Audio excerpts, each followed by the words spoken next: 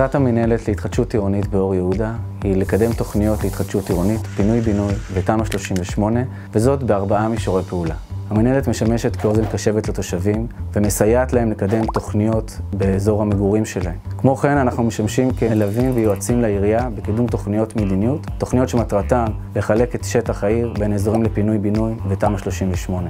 אנחנו מבצעים בקרה וייעוץ שוטף לתוכניות מפורטות שמוגשות על ידי יזמים, וכן מקדמים גם פרויקטים באזורים שיזמים פרטיים עדיין לא נמצאים בהם, אזורים שאין בהם עדיין תכנות כלכלית. אז מה מוביל עיר להקים מנהלת התחדשות עירונית? הסיבה הראשונה היא הצורך בניהול מוניציפלי נכון, שיאפשר לווסת לחצי פיתוח מצד יזמים, כדי שפרויקטי התחדשות עירונית ישקפו את האינטרס הציבורי של כלל התושבים והעסקים בעיר, ולא רק אינטרס עסקי של יזם.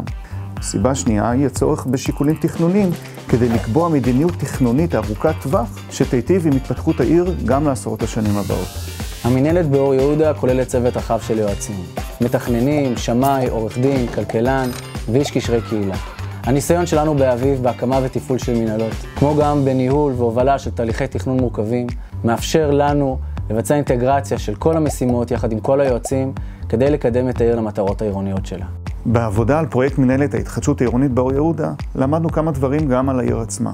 הדבר הראשון, למדנו על שיתוף הפעולה האיכותי והמצוין שמתקיים עם הנהלת העיר ועם מחלקות העירייה, שמצליחות לשלב בין מקצוענות ללא פשרות, לבין קשב ונכונות אמיתית לדיאלוג.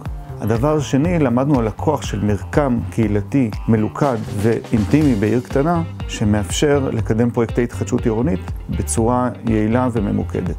אז איך מתמודדים עם האתגרים? דבר ראשון, יצירת יחסי אמון מושלמים עם כל בעלי העניין, בראשם התושבים וגם יזמים, ועדה מחוזית, גופי עירייה וכל מי שנוגע לעבודה שלנו.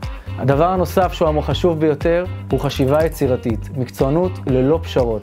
אנחנו לא מקבלים לא כתשובה ומנסים למצוא את כל הדרכים כדי לקדם תהליכים של התחדשות עירונית בעיר.